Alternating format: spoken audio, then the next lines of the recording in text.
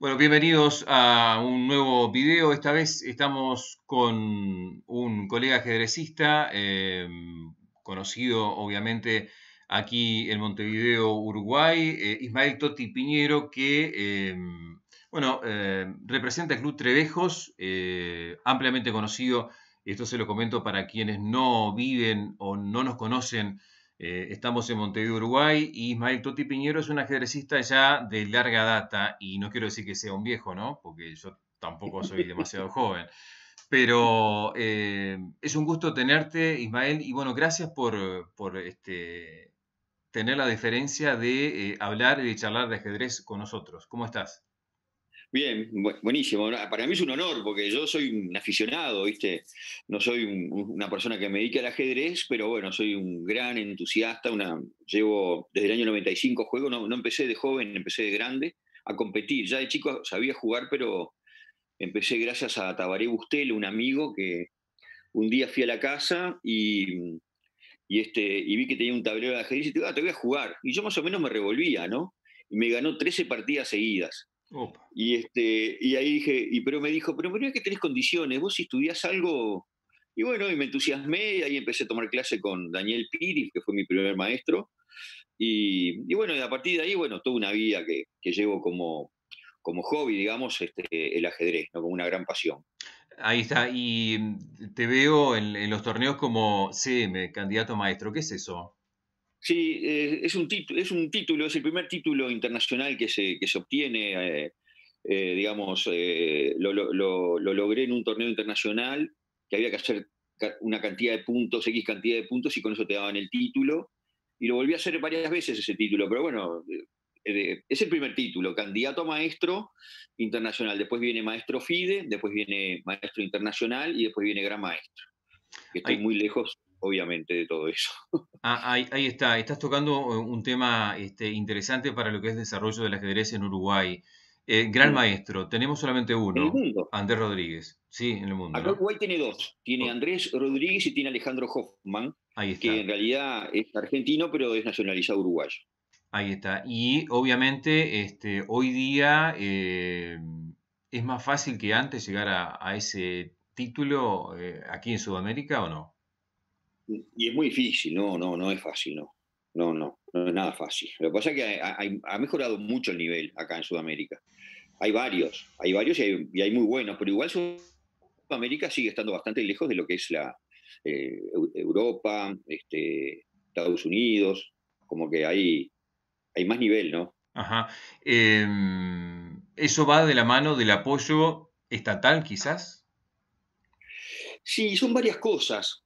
Una cosa sí puede ser el apoyo estatal y también es un poco la, cultura del ajedrez, ¿no? Es como que acá todo el mundo sabe jugar al fútbol y en Rusia todo el mundo sabe jugar al ajedrez, es como que lo tienen en la sangre, en la India, ¿viste? Son, son países que tienen un desarrollo del ajedrez que ya lo tienen en las venas. Entonces no solamente es este, lo que pueda colaborar eh, una, entidad deportiva o, nacional, sino también esa cosa innata que se traen, ¿viste? Que es como que ya saben jugar mejor de una, ¿viste? De entrada. Ajá.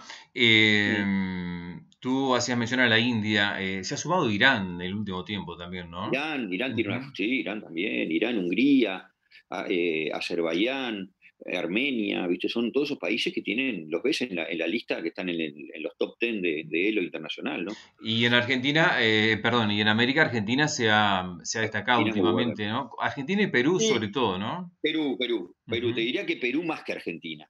Porque eh, Perú, lo que pasa es que Perú tiene los 4 o 5 necesarios para hacer una buena Olimpiada, un buen campeonato del mundo, algo así, ¿viste? un buen campeonato americano, pero Argentina tiene más cantidad de jugadores. Pero Perú tiene menos, pero como más fuertes en este momento. Tiene a Cori, que es muy bueno, tiene Martínez Alcántara, tiene, tiene un muy buen equipo Perú. ¿Y aquí qué es lo que falta? Quizás un, trabajo este, desde juveniles, desde niños, o, como tú decías, el fútbol es lo que manda.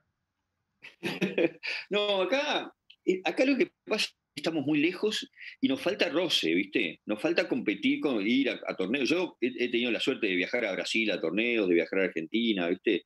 Y, y aprendes muchísimo en los torneos internacionales, ¿viste? El nivel es muy bueno, eh, juegan mejor en Brasil, juegan mejor en Argentina en general, y bueno, tenés que exigirte más para jugar ahí.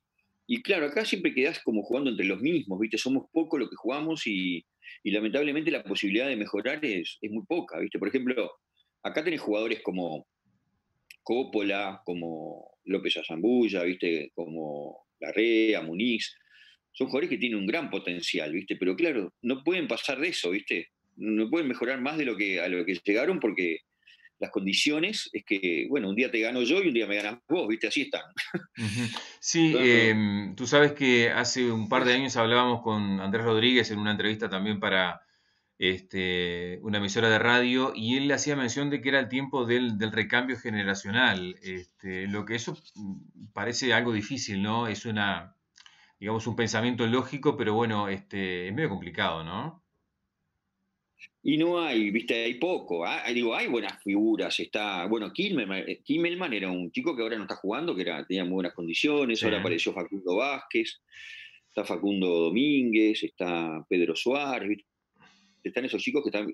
Está ahora toda una camada, por ejemplo, ahora el campeonato que se jugó interdepartamental, eh, el, el, B, lo ganaron todos unos chicos, este, Lanaro, Mordeschi, eh, Palacios, Amaral, ¿viste?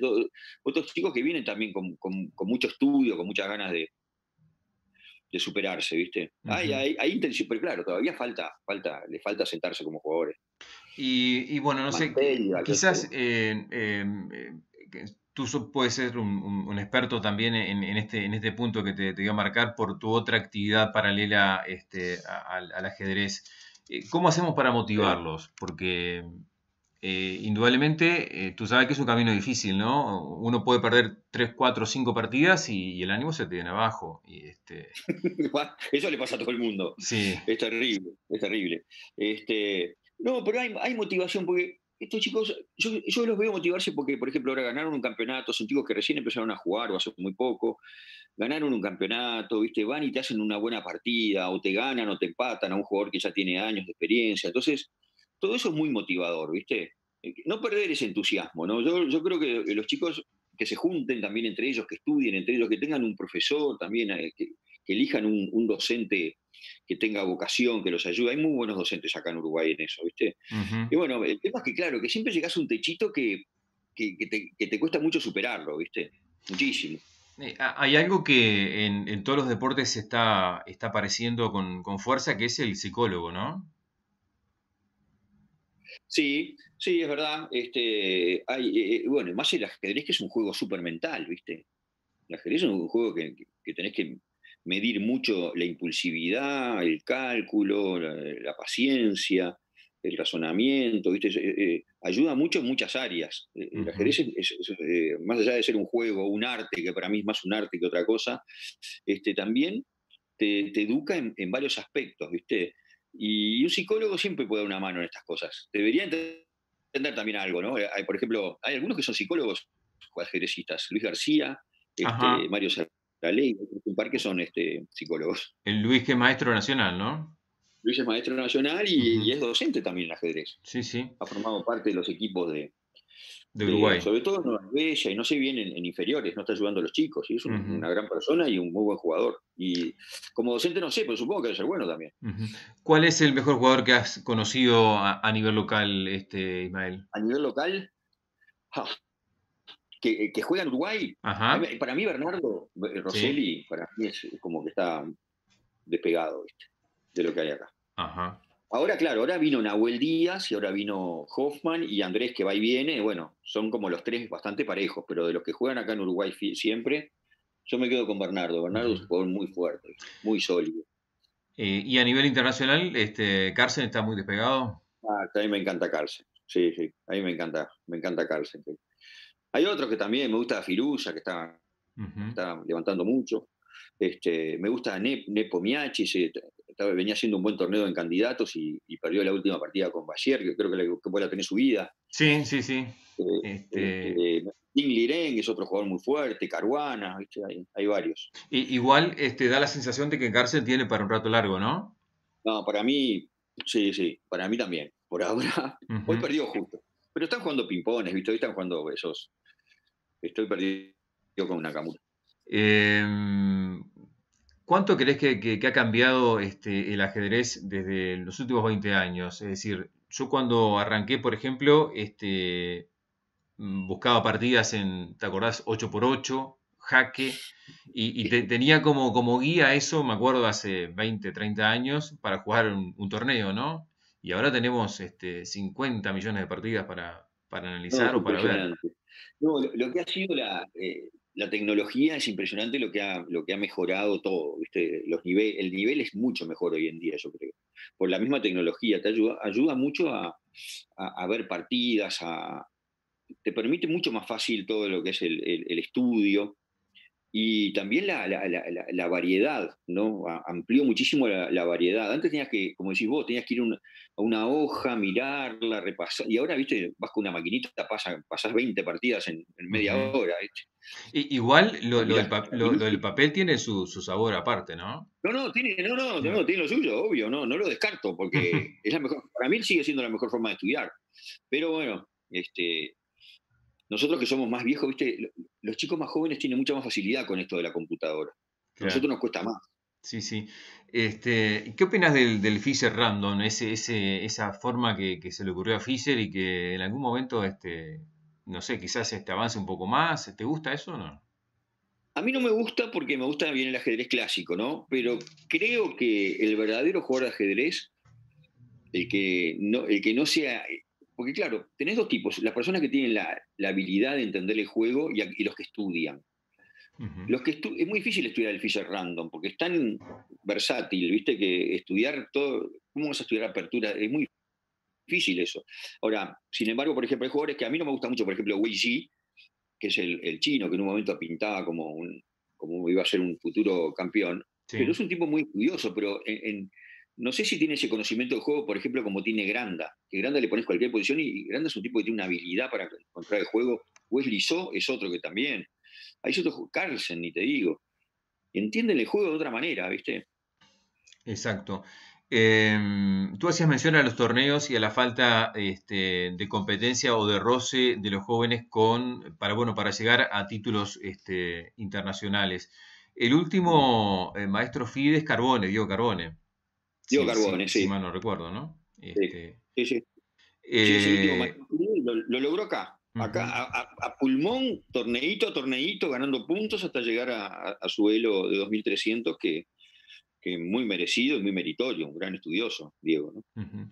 Y bueno, más allá de, este, de algunas eh, quizás eh, visiones este, opuestas o, contrarias o, distintas a la que está aplicando la Federación Uruguaya de Ajedrez en algunos temas, hay que reconocer de que en el último tiempo han, eh, se han desarrollado aquí muchos torneos internacionales, ¿no? Este, comparado con, con, otros años, ¿no? Eso es claro. Eso es maravilloso, sí. Esos, los torneos Duchamp, los torneos, este, los, los continentales, los latinoamericanos, ¿viste? Son torneos maravillosos que vienen jugadores de de, la elite americana y, no solamente latinoamericana, vienen de, Norteamérica, Canadá, Estados Unidos, no Canadá, vienen jugadores de, primer nivel. Acá estuvo jugando Jackland. Sí, sí, sí. ¿Te acordás que ganó, no? ¿Eh? Ganó el torneo. Ganó el torneo, sí, Jackland. A ver, un, tipo de 2700, ¿viste? Jugador olímpico de Estados Unidos, una, una fiera. Eh, bueno, vino este Martínez Alcántara, que es un gran jugador de, de Perú de Perú, Cori estuvo también, ¿entendés? Bueno, después, después los argentinos, estos Mareco, Pichot, que son unas fieras también, Pichot, Flores, esos son, jugadores muy buenos. Y a propósito de, de Duchamps, este, hay algo que, podemos mostrar, ¿no? Una partida tuya de 2018. Ah, tengo esa partida de 2018 con, con Bernal. Yo hace poco la subí al Facebook con la intención de que, bueno, de que la gente se, se prendiera a, a subir partidas de ellos, así, viste, uno se entretiene ahora con todo este tema del encierro. Dije, bueno, voy a subir una partida si la gente se entretiene y, que a la vez motivar a, que cada uno suba alguna partida, ¿no? Si todos tenemos alguna partida que nos gustó, viste, y, está bueno, viste, eh, que la gente las vea, ¿no? Sí, sí, como, como, como decía Gorsi, ¿no? Yo cuento las ganadas, las perdidas que la cuenten los otros. no, no, yo cuento perdidas, no tengo problema. No, no, pero yo, yo te digo, yo, yo. Puedo ver perdidas. Este, no, este. Eh, estuve, estuve viendo la, partida y en este torneo, antes de, comenzar a verla, no sé si te acordás, el gran Saralegui le ganó a García Palermo en la, en la segunda ronda del torneo, con una defensa Tarras, que, que, la comentamos también en el canal hace algunos días. Ah, mirá. No, y eh, creo que en ese torneo también le ganó Pedro Suárez a, a, un maestro internacional argentino. Y en la primera ronda hubo como unos, unas cosas sorpresivas así también. Sí, sí. Yo recuerdo haber jugado, no sé si fue el primer Champs o el segundo. Este fue el segundo, a ver. Eh, bueno, no, no, me acuerdo. Vino, ¿te acordás de Anderson? El, claro, sueco. Fue ese. Claro, ahí está. Sí, sí, sí, sí. Fue ese mismo torneo. Este, ahí está. Bueno, y aquí está jugando con eh, Bernal, Gustavo, Gustavo Bernal. ¿De dónde era? Gustavo Bernal es argentino. Este, tenía entendido que es un jugador que en un momento estuvo más de por arriba de los 2200, estuvo cerca de ser maestro FIDE. Y me tocó una partida con él. Yo justo en ese momento estaba tomando clase con. Yo he tomado clase con varios, ¿no? Con Maximiliano Pérez, que es ah, este. también tiene un canal acá en decir, Sí, muy interesante. Para mí fue un excelente docente. Y este, él me decía, bueno, vos tenés que jugar más sólido, vos, vos tenés eso de que sos muy ligero para jugar, esto que lo otro. Y bueno, entonces, bueno, la partida se dio de una manera que no pude ser tan sólido como él quería. Así que. Ah, ahí está. Este, si, vos me, si, vos me, seguís de ahí, yo estoy ya en la, en la apertura. Es, una, es un peón rey. Eh, siciliana. Yo, no la veo acá, pero si querés yo la abro acá de mi ah. lado y lo voy viendo. Ahí está. Eh, estoy en caballo por, por, D4. Es una siciliana Jeveringen, ¿no? Sí. Ahí está. Es una siciliana Naidorf. Ah, perdón, Naidorf, sí, exactamente. Eh, ahí juega este, Bernal A6 y tú vas con F3. Exacto. El E6, alfil E3. Esto es una especie de ataque inglés, ¿es? Es un ataque inglés. Exactamente, es un ataque inglés contra la, contra la, defensa Naidorf. Bueno, esto es el típico, ¿no? De ponerse el alfil N3, la dama en D2. Eh, Ahí está. él juega, dama, dama C7, eh, que no, no me dice acá el, este, la, la, base de datos que sea la principal, pero bueno, es una de las opciones. Sí, Sí, es una jugada. me han jugado mucho esto así con Dama C7. para mí, yo prefiero que me jueguen eso este, cuando juego esto porque me parece como, una pérdida de tiempo esa jugada. Por eso, este, bueno, si me la juegan, mejor para mí. Y bueno, y, lo típico del plan blanco es jugar Dama de 2 para ir al enroque largo, ¿no? Exacto, ya, ya, hice el enroque largo acá. Ahí este, está el enroque largo. Y, aquí. esta jugada. Sí, te escucho. Sí, Exacto. Me juega H5. Ajá. E, esto no es para nada principal, ¿no? No, pero es muy molesta, porque justamente el ataque blanco es jugar G4, H4, G5, H5, ¿viste? Ir, ir yendo para adelante, ¿viste? Ahí atacando el, flanco rey. Y esta jugada H4 paraliza un poco el ataque. Es una jugada que eh, hay que encontrar otro mecanismo para jugar que es con H3, B5, hay que jugar de otra manera. ¿Y, qué, pensaste cuando te jugó eso? ¿A la pucha en qué me metí? me, molestó, me molestó. me molestó porque digo, ay, esto, esto no me gusta, bueno. Eh, bueno, Y, ahí eh, la, clásica Rey B1 para irse de, bueno, de los eventuales jaques en algún momento, ¿no? Exacto, sí. Acá, me, acá el Rey B1 es una jugada que hay que hacerla, este, liberar el rey de la, de la columna de la dama, ¿viste? Correrlo. Eh, ¿Esto, esto es el, típico juego de profilaxis que dicen los maestros? Sí, sí, sí, exacto. Sí, acá eso es una jugada de profilaxis, pero tampoco hay mucho para hacer acá ahora, en este momento. Tenés que esperar que, hace el negro, ¿no? hay que esperar, exactamente. Bueno, juega caballo B de 7 y tú vas con H3, que era la, la, idea que me decías, ¿no? Para G4. Exacto, para jugar G4, ojo, no puedo jugar tan rápido G4 porque está colgada la torre. Si yo juego, si yo juego G4 ahora, me juega peón por, yo le juego F por y me juega caballo por. Ahí está, exacto. no puedo comer porque está la torre colgada, ¿viste? Entonces, este, eh, eh, habría que jugar de repente torre G1 para jugar. Bueno, y tu rival, por lo que veo, no reduce problemas. B5, este... Me juega B5. Y acá en este momento me pasa lo, eh, me pasa lo, que, lo que te contaba con, con mi profe, ¿no? Que vos jugás serio y me pone, pero no puedo jugar serio acá. Eh, serio, digo, vos sabés que esta jugada que yo hago ahora, que es este caballo D por B5, sí. Eh, no la da, no me la da el, el módulo. Ajá. Pero cuando la juego, me da la ventaja, ¿entendés? Es muy raro como, como el Stockfish me, me, no me la da, no la concibe. Eh, eh, y, acá qué, qué, qué, influye? ¿Esto lo, lo tenías preparado? Este, ¿Intuición? Eh, qué, ¿por no, acá, acá, acá, lo que pasa es que el caballo toca la dama, entonces el, el, segundo caballo también toca la dama, entonces son tres peones por la pieza. Ahí está, A, A por B5, caballo por B5, y ahí hay un problema para las negras ahora. Claro, ahí tocó la dama, la dama se va a ir a, a defender ese peón, se, se, va a B8. A B8. Y yo vuelvo a jugar caballo con jaque. Caballo por B6. Y ahora tenemos entonces eh, mm, pieza, eh, perdón, eh, tres peones por la pieza, ¿no? Tres peones por la pieza. Pero fíjate que eh, una cosa que cuando hice esta jugada, eh, yo lo que vi era que la dama no podía ingresar ni a A5 para amenazar mate abajo, ¿no? Ni a A7. Eh, por eso fue que yo, cuando, cuando estudié hacer la, la entrega ahí, o el cambio de estas piezas por, por, los tres peones, la dama no entraba en A7 y tampoco entraba en A5. Entonces yo dije, está, tranquilo, la puedo hacer. Claro. Y, este, y la hice, y bueno, hicimos los A mí él me cambió ahí y yo cambié, eh, cambié con la torre, ¿no? Cambió Ahí todo, está. ¿no? Dama. Sí, sí, eh, torre por D6. Y acá lo que, lo que veo que tenés tres peones libres que va a ser dificilísimo que, que los puedan parar, ¿no? Bueno, eh, es, es, el riesgo que uno asume ¿no? en, en, en, en esta Claro. partida. Y acá me juega rey, Rey E7. E7, ahí está. rey de 7, y acá estuve pensando mucho porque no sabía qué hacer con la torre.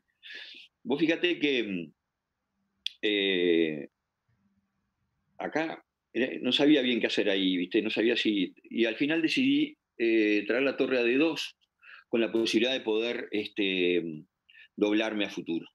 Torre de 2, ahí está. Si pasamos el limpio, entonces, a ver, eh, Toti, ayúdame. Tres peones libres a cambio de la pieza. Sí. El, ne- el negro tiene que desarrollar las torres todavía, ¿no? Y tiene un alfil Todavía. en C8. Y a ti te, te queda el alfil de F1 y la torre de H.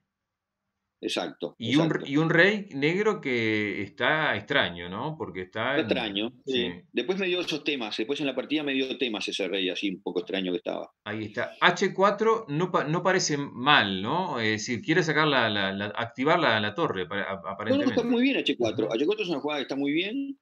Eh, y bueno, yo lo que intenté acá jugar fue Alfil, este, alfil B5. sí, alfil, alfil B5, justamente para evitar que esa torre que va a entrar ahora por, por H5 tuviera tanta fuerza, ¿viste? Ahí está, torre H5 y eh, defendemos el alfil con, con el peón, ya dando un paso importante hacia... Exacto, exacto, ya avanzando, exactamente, esa fue la idea, exacto.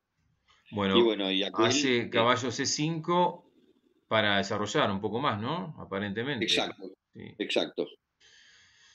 Y torre Muy bien. D4, a ver, decime ahora acá cuál era tu idea. ¿Eh? Eh, torre D4, ¿cuál es tu idea ahí? Simplemente eh, pasar la, la torre a la cuarta línea Sí, y... acá era defender ahí el peón, era, era defender, el- tener dos piezas defendiendo el peón Ahí está. y, y- y forzar un poco lo que pasó, que él me jugó, él me jugó- ah no, ahí no me jugó. Alfil a Este, 6 hace. alfil a 6, ahí cambio, Ajá. ahí cambio, prefiero jugar contra los caballos, no contra el alfil, ¿viste? Ese, ese, ese. Y ahí juego, ahí Claro. juego eh, B- B3. B3 está bien, sosteniendo el, el peón y ¿no? Con, con dejar fuerte ahí el, el, este, ¿cómo es?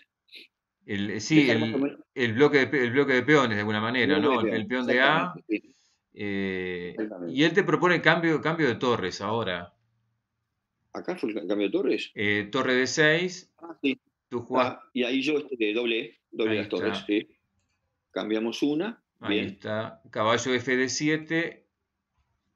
Y las negras siguen teniendo el mismo problema, ¿no? Este, Exacto. La- eh, eh, los peones están ahí, ¿viste? Están avanzando, están queriendo avanzar. claro, rey B2, Rey F6. Eh, acá me jugó F6. F6, ahí va. Rey, acá me voy para arriba. Acá estoy, voy a buscar este. Rey A3. Sí. E5, preguntando a ver qué hacemos con la torre. Torre C4. Y caballo E6. No sé qué dicen los módulos aquí, pero este, debe dar una, ventaja blanca, ¿no? Seguramente. Bueno, acá no, sé bien cómo está el módulo, no, no lo estoy siguiendo acá, pero... Torre C8 está bien. Acá, acá, estás cortando el paso del rey también, ¿no? Acá lo que estoy cortando es la bajada de la torre para, para que el peón de, de, A o el de B, cualquiera de los dos, puedan llegar. Entonces acá, eh, acá hice esta jugada de torre C8. torre C8 con la idea de impedir que su torre avance. Está bien. Y la, claro, porque la, torre le, quedó mal. O sea, la, idea originalmente no estaba, estaba bien, pero ahora le quedó mal, ¿no? Claro, exacto. Vino caballo F4. caballo F4 que, este, y bueno, yo acá decido empezar a lanzar el peón, ¿viste? Porque fíjate que él no tiene cómo defenderlo ahí, no tiene cómo defenderlo. Exactamente, sí, sí. ¿Eh? Él, este, bueno, se come el, peón de G2 porque no, no tiene más jugadas. Y... y yo acá lo que hago es eh, irme en la misma diagonal para evitar que el caballo salga de... por E3, ¿no? Ahí está, por E3 o por E1 podía salir también. Bueno, por E1 no sé, pero sí, sí. Bueno, y ahí vino F5, el negro tiene que romper los peones del centro del blanco para sacar esa torre, ¿no? Exacto. Ahí está, A6. Y ahí yo sigo adelante con el peón, A6. torre y ahí Me, ahí, 6 para llegar a, cubrir, porque si no se le caía, ¿viste? Juego A7, me da el jaque, me voy de rey, y ahí ya corono. Y ahí te jugó G5 y coronaste acá. Tiene que entregar la torre, torre por A8, caballo, F4. Y F4. Ahí va el caballo de vuelta. E por F5, caballo por H3. Por F5. Exacto. Sacamos el alfil. Y ahí juega alfil de 3. Alfil de 3. ¿No? Pero fíjate que acá hay algo raro porque. Vas a ver ahora. Eh, que, queda el caballo copado. Claro. Ah, mira, eh, con torre A7, seguro. Sí. Acá jugó torre A7. Bueno, él se va a, comer ese peón. Caballo F8, el caballo. Alfil C5, caballo F4. Ah, claro. Y ahí. Y ahí el caballo este queda, perdido. Queda perdido. Mira cómo queda el caballo perdido, es increíble. Sí, ¿eh? sí, sí, claro. Este, muy linda jugada, la verdad que sí. H3 y este peoncito, ¿cómo lo paramos ahora? Alfil E7 jaque. Rey por F5. Ah, claro. Por F5. Torre A6 llegando justito. Torre A6, porque Torre A6 no es por llegar justito. Torre A6 lo que amenaza es mate. Ah, mira. Torre F6 mate. Claro. Bonita jugada, ¿eh? E4, la única para, escapar Para de... del mate, claro. ¿Eh? F por E4, rey G4, él insiste en esa eventual coronación, torre A1. Torre A1. Caballo G6 y torre jaque abandona. Y ahí torre jaque abandona porque ya, ya le gano la, otra pieza. Claro.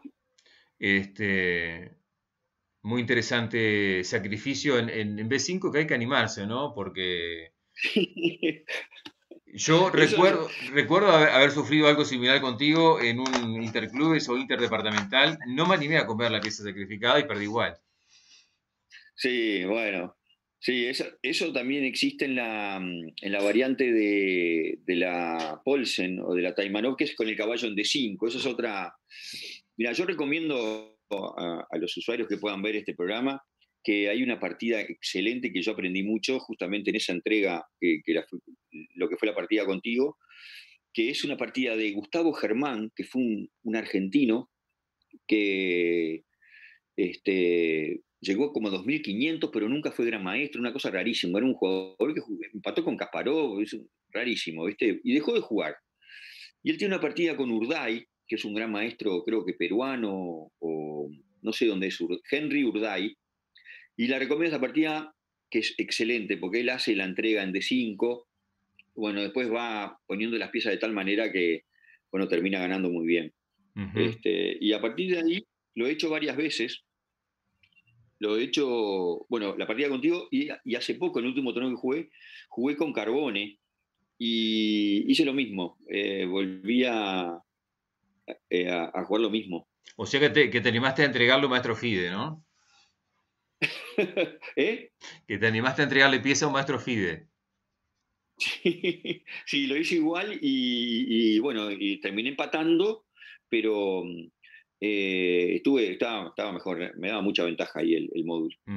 Eh, Toti, ¿y mm, ¿qué, podemos recomendar para, para, bueno, para esos jóvenes que están mirando y que están comenzando eh, en, materia de, libros, por ejemplo? ¿Qué, libro como para arrancar a, ver este ajedrez?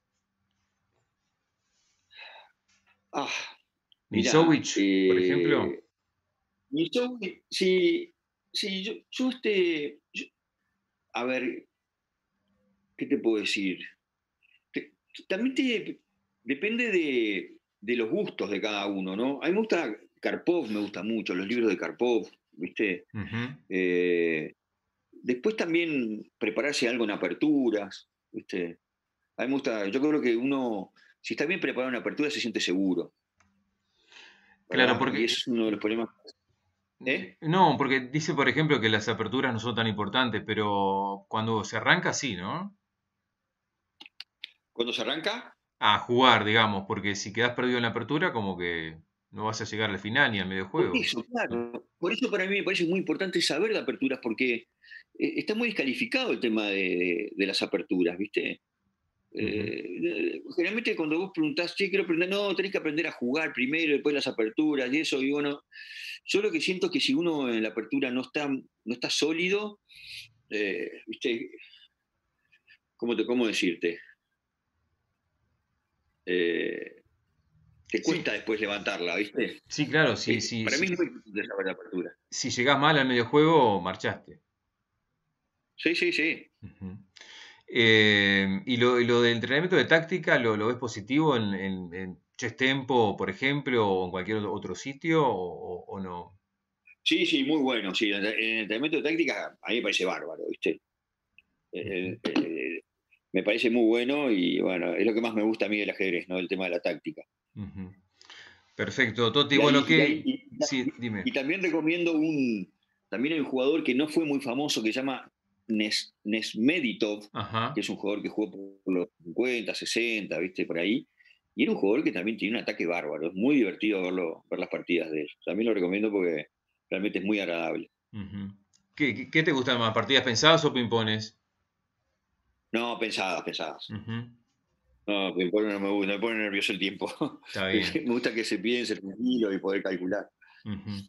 Toti, este, bueno, ¿cómo, ¿cómo, estás pasando este momento, eh, ya para ir finalizando, este, esta situación de, pandemia? Eh, ¿Cómo estás viendo el trabajo del gobierno a nivel puntualmente de, Uruguay? Eh, aparentemente está controlado, pero no ha empezado el invierno. bueno, yo creo que Uruguay ha manejado bastante bien la cosa con la crisis esta de la pandemia pero bueno, yo creo que a poquito se, están, se va abriendo todo un poco más, ¿no? ¿Cómo, cómo lo estás sintiendo eso? Sí, em, si se mantiene en esta línea que va, seguramente este, vuelve el fútbol en, agosto, a puerta ah, cerrada, pero este, ajedrez indudablemente al ser un, deporte, este, digamos, en un ambiente cerrado, no pinta como para que vuelva, ¿no? Ah, ah. Sí, no, el ajedrez va a estar difícil, lamentablemente se va a extrañar por ahora. Eh, ¿Jugás online? Juego poco, sí, juego ahí en el chess.com. Sí, pimpones ahí más o menos. ¿Vos? También, este, para despuntar el vicio. Eh, bueno, Toti, te quiero agradecer profundamente este, este tiempo que nos has dedicado para hablar de ajedrez, de una de las pasiones que tenemos este, ambos y quizás este, más de uno que esté mirando. Eh, Bien. Te agradezco de corazón, en serio. No, eh, al contrario, para mí es un gusto y un honor porque, como te dije, yo no me siento ningún gran jugador, pero bueno, soy un gran aficionado y bueno, y poder tener esta oportunidad para mí es un lujo. Muchas gracias. eh. Te mando un abrazo y a los eh, eh, seguidores nuestros en, YouTube, este, volvemos a, comentarles alguna partida o alguna otra entrevista con algún jugador de nuestro país y, por qué no, eh, del exterior. Si les gustó el video, los invito a que hagan clic en me gusta y en suscribirse. Ha sido un gusto, un abrazo, que pasen bien. Un abrazo.